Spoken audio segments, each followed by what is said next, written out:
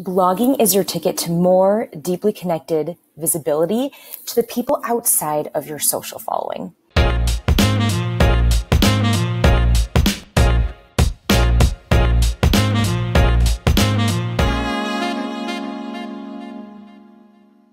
Hi, you guys. I'm Caitlin Strempel here with Rising Ranks Digital, and today we're going to talk about why you should be blogging and how to best actually do the thing.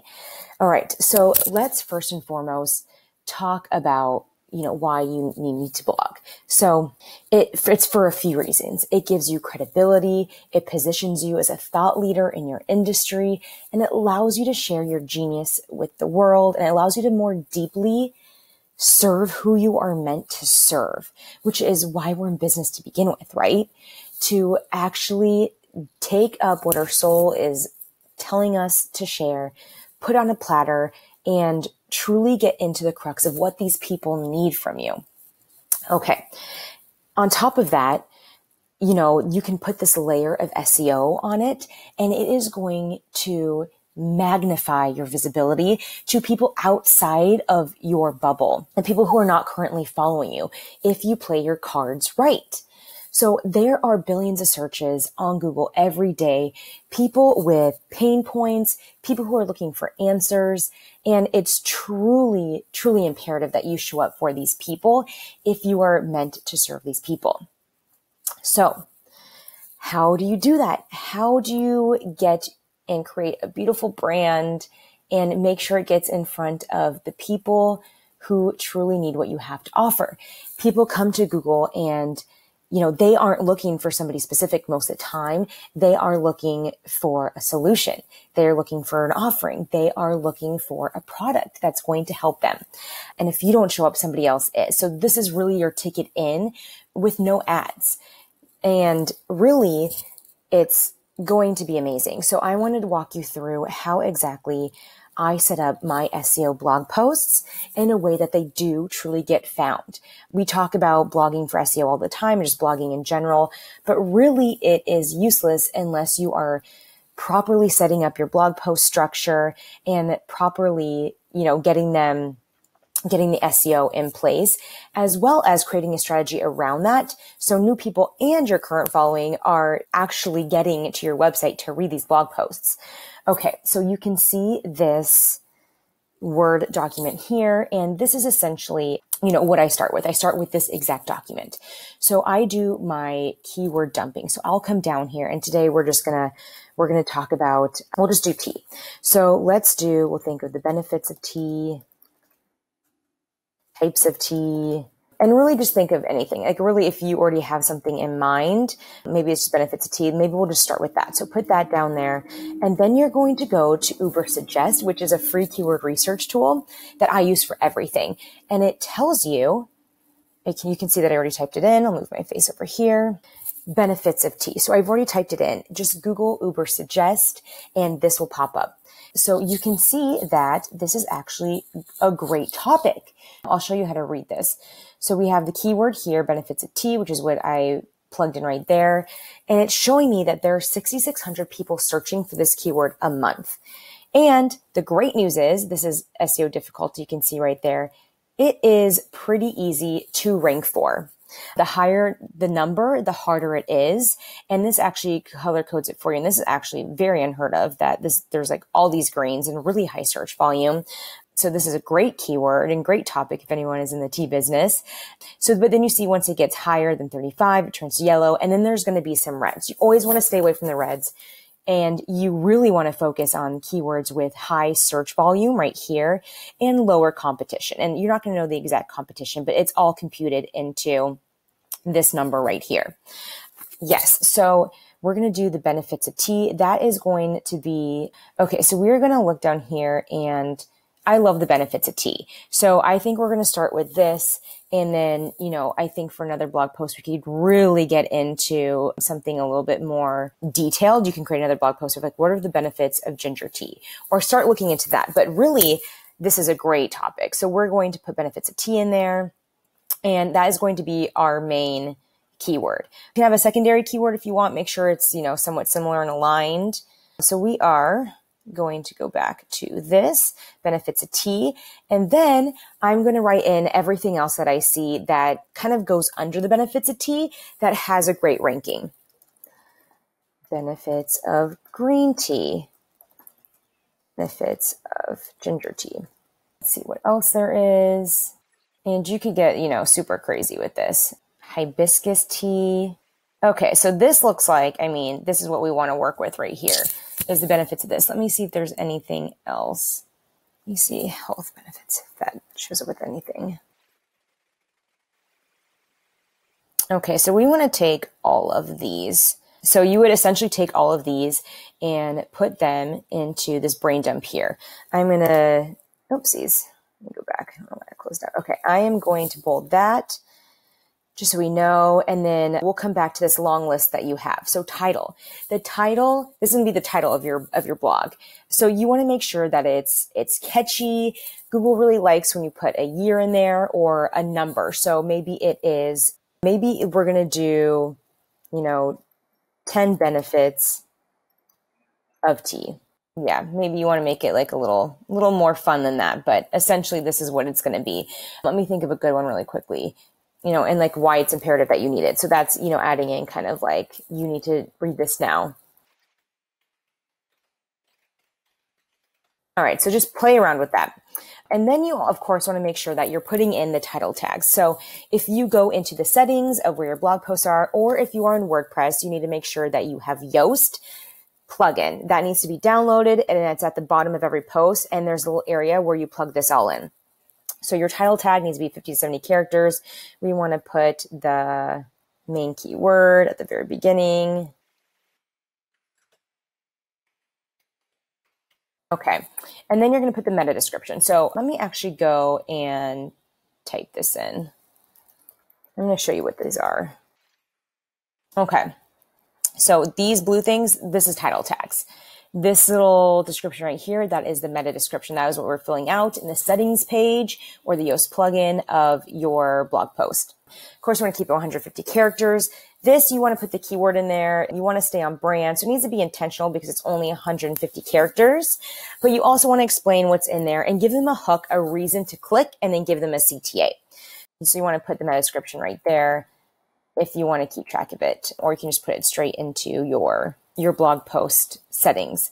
Okay, so post outline. This is, you know, the main reason why we're here is the structure. Okay, so you always want to make sure that there's an introduction. So a background to why you're writing this and why it matters. Why do the benefits of tea matter? Longevity of life, maybe, just maybe some history around it, all of that good stuff. And then you want to state the main problem that you are here to fix or put at ease that is kind of like the standard of what you need to do. Of course, there's always going to be a conclusion at the end as well. And, but the middle, what do we put in the middle? So it could be different things. Of course, you want to make sure that the introduction, you know, it talks about benefits of tea. So you really want to actually put that keyword in there. But then, then when you go into, okay, so maybe let's talk about benefits of green tea. You're going to take that. So you are going to have the benefits of tea. You're going to write the introduction and all that good stuff. And then you're going to have a headline and it's going to be the benefits of green tea. And then you can talk to that. So that is going to be your headline. You want to make sure that in your text settings, you put that as an H2. So your H1, your, your title, and these are all, you just you know, right click on your, on the copy and you'll see it. It'll be like paragraph, H1, H2. Every single website builder has this.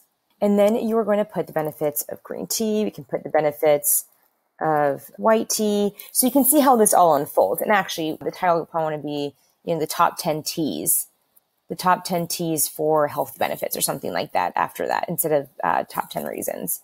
But you can see where I'm going with this. So then you can go back to your list and then see, oh, health benefits of kombucha tea. That's an interesting one. Let's do that. So really you can get into all the crux, but this is essentially these keywords here are what's going to drive the structure of your blog post.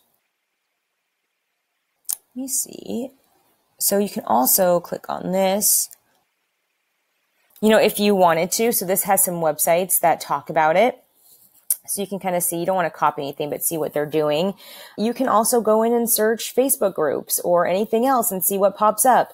Maybe you can search Pinterest just to kind of get an idea of like what kind of questions people are asking around this.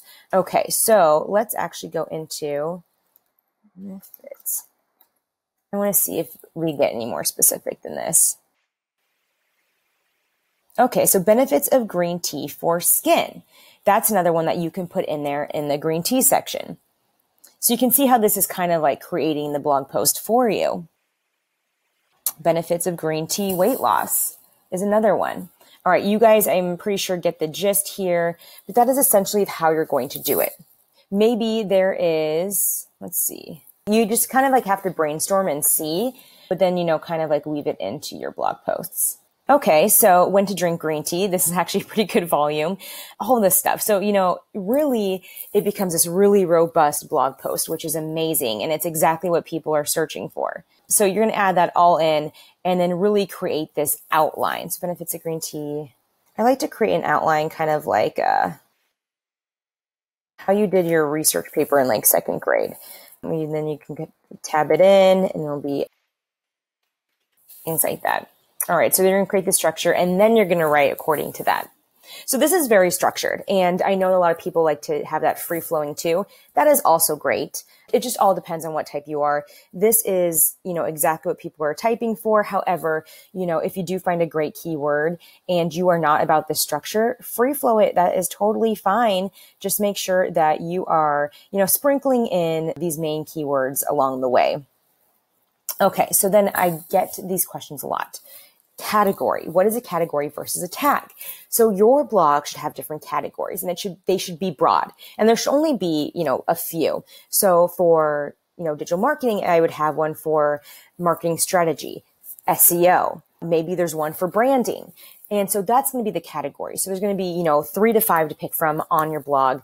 Always pick one for this blog post. That is going to tell Google what category of just you know, anything that this blog post aligns to. And then the tags. The tags are going to be much more detailed. So for us, it's going to be, so maybe category would be tea. Maybe we're like a beverage blog post. So category is tea. We're going to click that. And the tags will be health benefits of tea. So it closely aligns with our keyword. And then maybe it is, you know, we can tag it with green tea health benefits but you want to only keep this to like, I like to keep it to three. So make sure that they're, you know, pretty specific, but, you know, not super specific where you have to have like a million of them in here. Okay. So once you're done with that, and again, these is all in the page settings of wherever you're writing your blog post. And then we have incoming links. So once it's up and published, you want to make sure that your other blog post, you have something linking to it from your blog post, as well as linking to it from, you know, maybe your social posts. Maybe you put this on LinkedIn or Facebook. You always want to make sure that you are driving people back. You can also put this link obviously on Instagram, but that tells Google that this page is worthy because it has links coming to it. You can also share it in your emails and of course share it. That's, that's the big thing with the strategy of this is making sure that you are always giving people tidbits off of your website and really giving them that hook and that drive to click through to your website. That's going to be very important for getting people to your website reading and helping your website blog post rise in the ranks. All right, outgoing links. So you also need to make sure, okay, hey, what blog posts already that I have does like aligns with this?